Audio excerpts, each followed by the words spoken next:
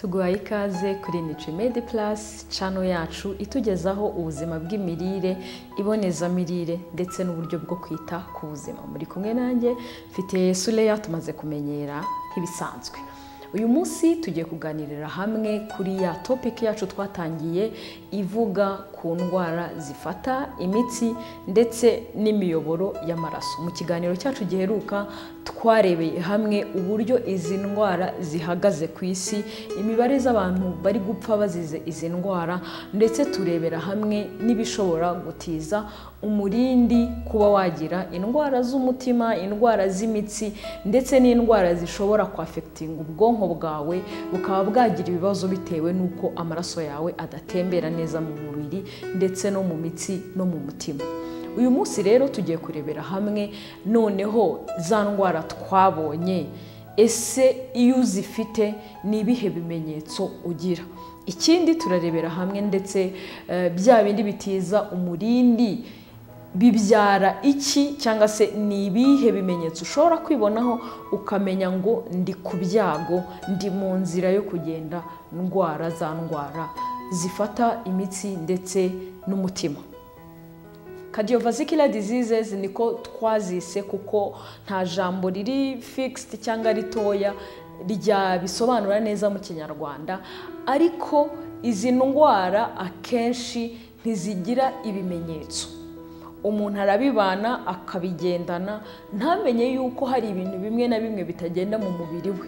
Akenshi uzasanga hari ibitagenda ariko kuko bitaragera ku rugero rwa nyuma cyangwa se ku burwayi bukomeye uzasanga umuntu nta kimenyetso afite. Ibimenyetso akenshi bikunda kuza habayeho nko guturika k'umutsi cyangwa se habayeho kwifunga k'umutsi nk'uko twabibonye nka bimwe mu bishobora kubaho muri za ndwara twabonye. Ibimenyetso rero tuzabona uretse yuko bizaza umuntu amaze kugera ku bice bya nyuma cyangwa se ku burwayi bwakuze niyo mpamvu ahangaha tutaravuga ibimenyetso.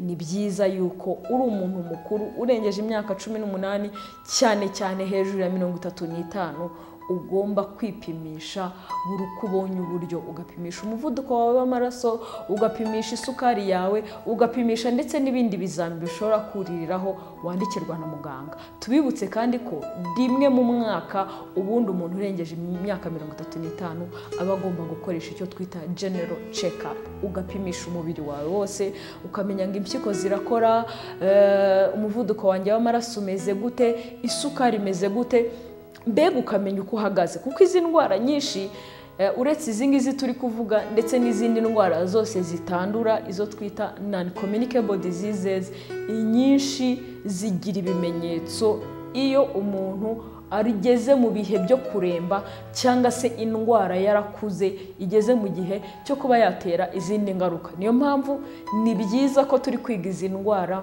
tubashishikariza kwipimisha tubashishikariza gutunga tuno tumashini akamashini gapima umuvuduko agapima isukari turaboneka ushobora kubyitungira. Iwawe mu rugo udategereje kuzajya kwipimisha ariko ugashobora kuba wakwipima iby'ibanze ukamenya aho uhagaze.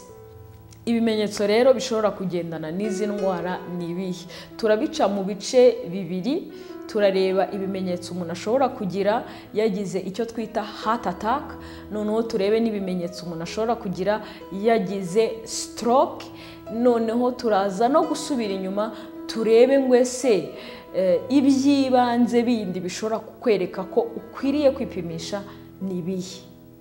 Duhereye rero ku cyo twita heart attack cyangwa se guhagarara k'umutima. Guhagarara k'umutima bishobora kukutera ibimenyetso bikurikira. Ikimenyetso cya mbere ni uko ushobora kumva ufite kubabara ku gice cy'umutima cy'ibumoso cyangwa se ukumva ntumerewe neza ntutuje ukumva nta mahoro ufite.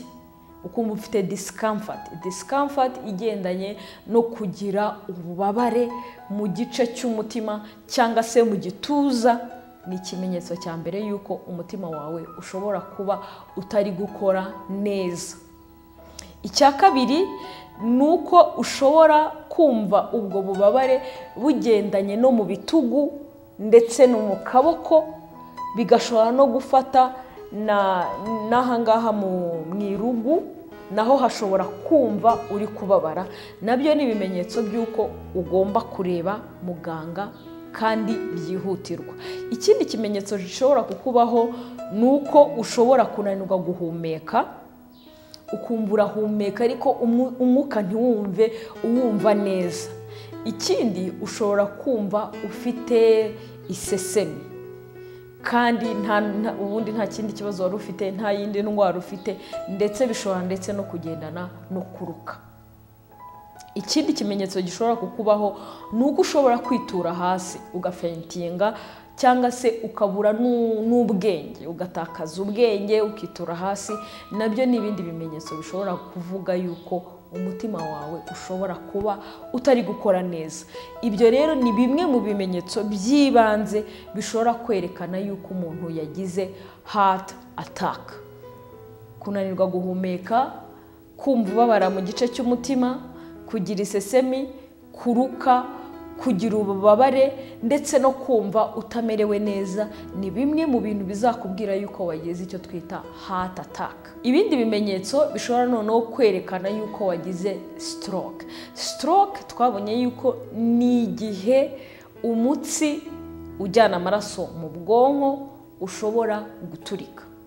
Iyo uturitse rero hari igihe amaraso ajya mu bwonko ariko hari n'igihe ugira imana ukagera kwa muganga bikimeze neza. Sindi bujye muri details z'uburyo stroke ifata n'ibindi ahubwo turareba noneho ibimenyetso bishobora kukwereka ko harimo ikibazo cyangwa se ibimenyetso mpuruza wagakwiriye guhita wihutira kujya kwa muganga ni ibihe harimo icya mbere kumva hari ibice bimwe by'umubiri bitari gukora neza. Akenshi stroke ishobora kugendana n'igice runaka. Ushobora kubona ari igice cy'iburyo cyangwa se ari igice cy'ibumoso kitari gukora neza.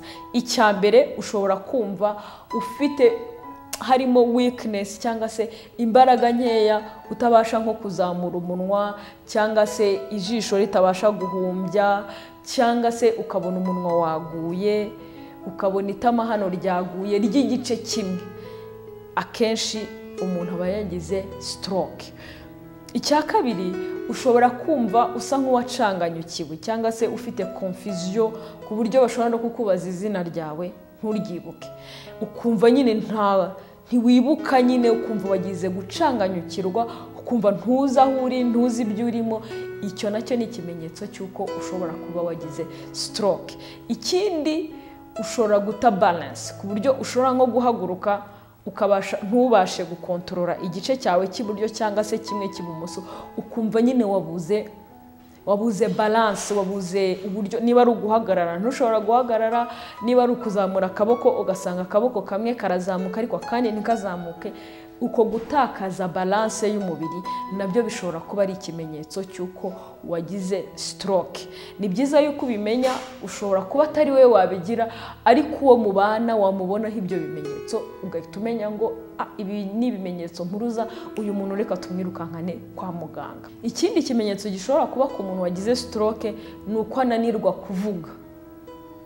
Yashaka kuvuga mukabona arashaka kuvuga ariko yajya kuvuga ukumva ururimi ntiruva mu kanwa. Kunanirwa kuvuga na cyo ni ikindi kimenyetso. Ikindi hari no kunanirwa kureba.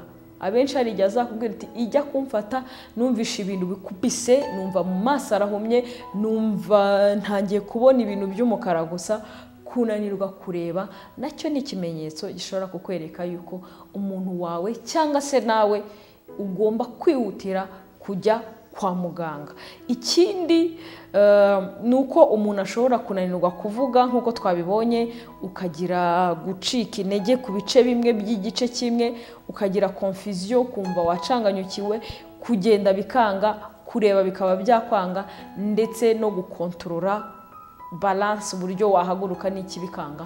Ibyo ni ibimenyetso mpuruza bizatuma umuntu umwirukankana kwa muganga. Gusa tukiri aho ngaho hari indwara na yo akenshi ari na yo imenyerewe cyane dukunda kwita ngo ni umuvuduko ukabije w'amaraso. Umuvuduko ukabije w'amaraso wo ntabwo tuwufata nk'izi ndwara ngo ni cardiovascular disease ahubwo ni imwe muri kondisiyo cyangwa se ni kimwe mu bintu umuntu agira kigashobora noneho gutiza umurindi za ndwara z'imitsi n'amaraso.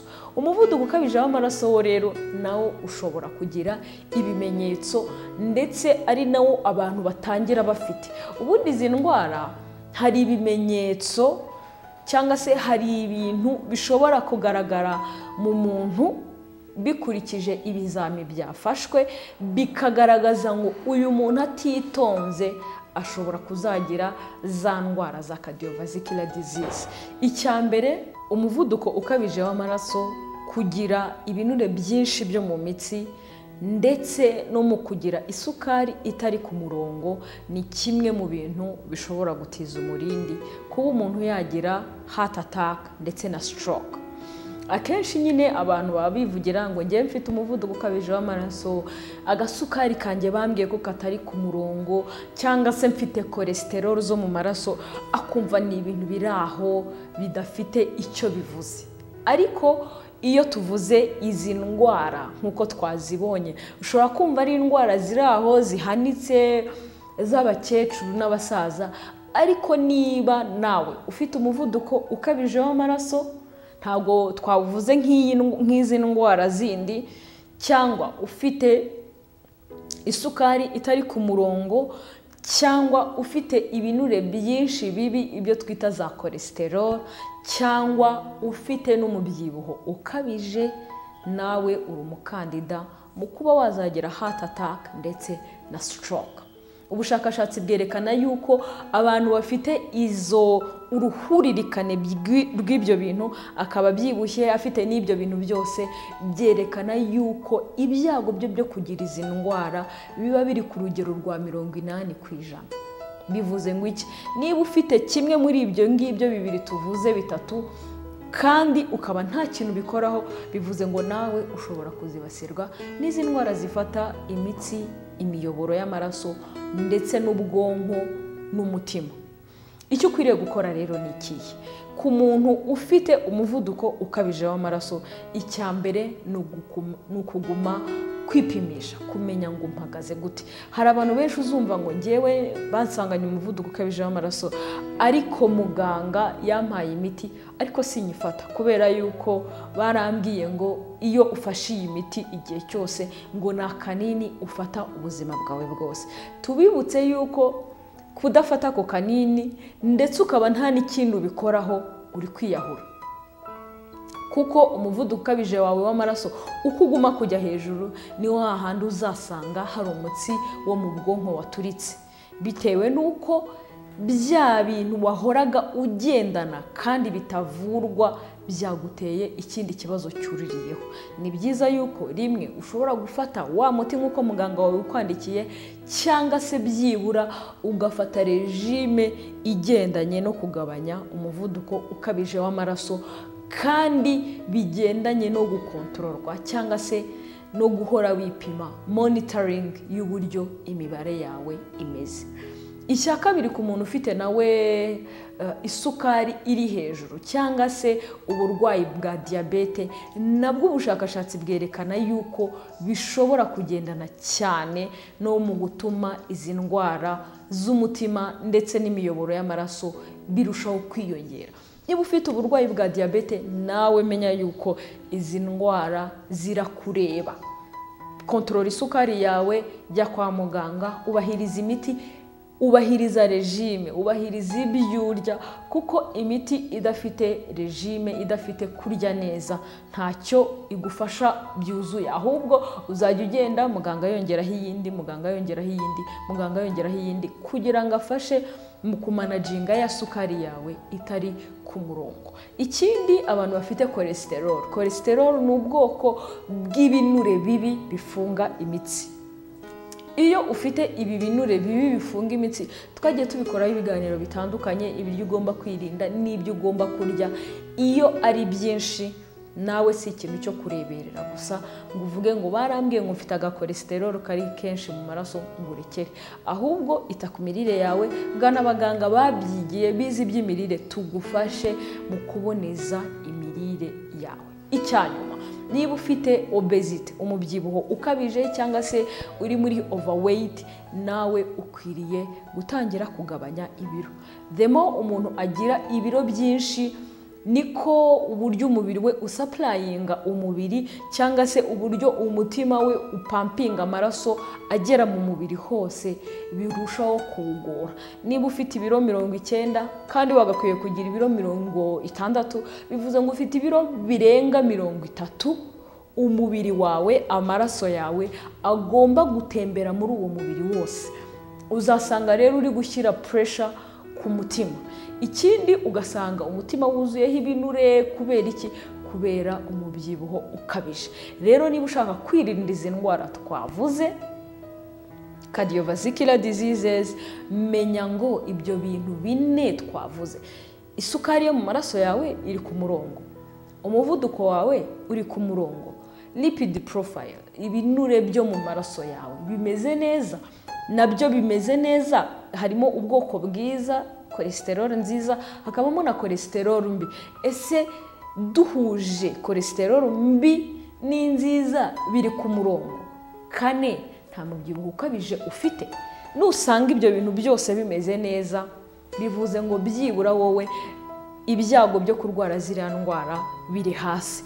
Ikindi tubibutse ko twabonye yuko izi ndwara zihuza imyitwarire ine cyangwa se risk factors enye umuntu ashobora kwihindurira ubwe icya mbere twabonye yuko ari ukurya nabi cyangwa se imirire itaboneye. Icya kabiri tubona kudakora imyitozo ngororamubiri.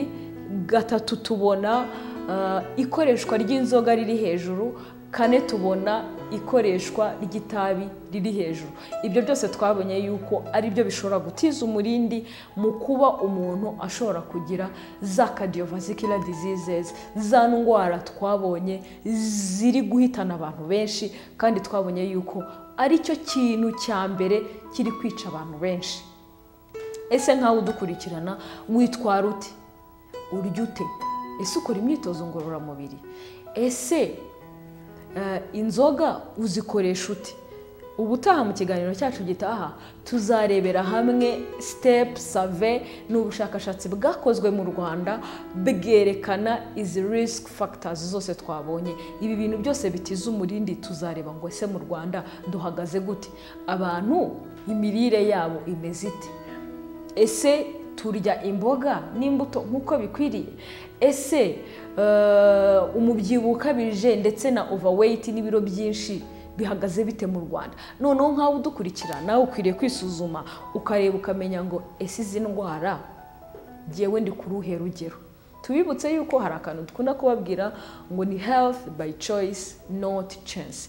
Tugira ubuzima bwiza ku bw'amahitamo apana ku bw'amahirwe. Umunyarwanda we ni we waciye umugani aravuga ngo amagara aramirwa ntago amerwa. Rero nk'abantu badukurikirana mukwiriye guhitamo uyu munsi gutangira mukaba bazima mukarya neza mugakora imyitozo ngororamubiri ndetse mukirinda inzoga n'itabi kugira ngo izi ndwara zifate umutima ndetse n'imiyoboro y'amaraso nawe utazasanga zakugezeho. Mu gihe wifuza ubufasha ndetse n'inyunganizi ku buzima bwawe ndetse no gukorerwa ibonezamirire ryimbitse rigendanye nawe ku giti cyawe. Wadusanga kimironko hafi ya simba supamaketi muri kabine ya nutrition twita nitrimedi plus. Uzahadusanga tugufashe tugufashe kuboneza imirire yawe maze ugire amagara mazima. Mwari kumwe nanjye mfite isureya naho ubutaha.